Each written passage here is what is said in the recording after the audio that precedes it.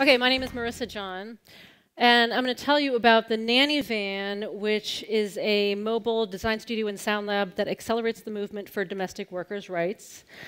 And uh, we are working with domestic workers nationwide. Our key partner is National Domestic Workers Alliance, and we are creating new resources to improve their welfare.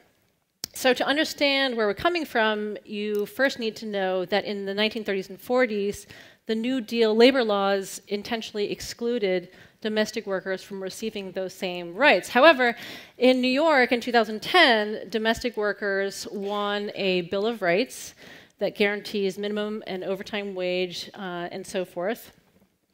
And now, what's really exciting is that those laws are changing nationwide. So, but in New York, to inform the 200,000 domestic workers about their newfound rights, we created this tool where you can call in using any kind of phone and hear humorous episodes about the law or about health and safety.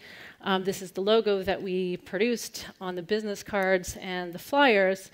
And uh, the way that the word gets out is uh, primarily through um, advocacy groups and a lot of on the ground uh, outreach by nannies to each other in the park.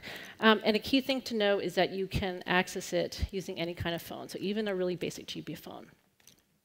So now, as I mentioned, the laws are changing nationwide, and um, Massachusetts is going to be the fourth state to pass their Bill of Rights.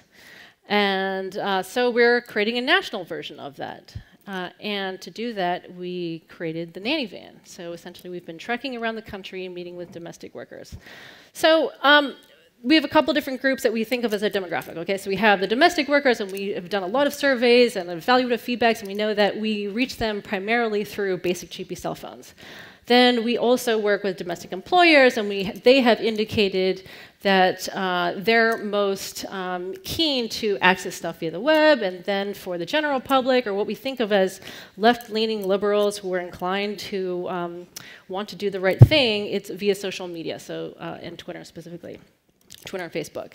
So here are some of the examples of um, events and ways of outreach. Here's a group of nannies at the SF Public Library doing a, a, lion dance to the tunes of the Nanthem. Here is a group of 140 nannies, not all in the picture here, and they are creating nanny vangrams dedicated to political leaders, and uh, the pictures are then tweeted to local leaders and then delivered in person. So in Massachusetts, they were delivered to the State House.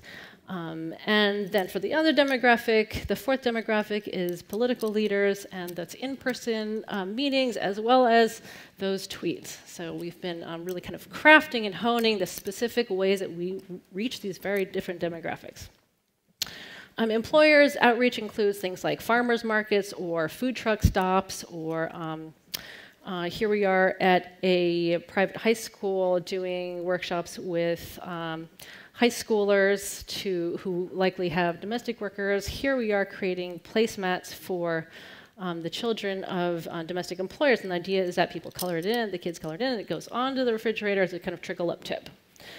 So this is what our audience engagement plan looks like. And we've been crafting and honing and so forth. So um, the thing that really blew us away through all of this was that uh, a few weekends ago, we went to uh, the Queens Museum where we had an event, and it was really successful. We, were, we got a couple of hundred um, nanny vangrams. It was mostly uh, domestic employers as well as um, the general public, so culture-going, left-leaning public. And then the, that was on a Saturday. And then the Sunday, what happened was there was this antique auto show. And so we backed up the nanny van. There it is in the background.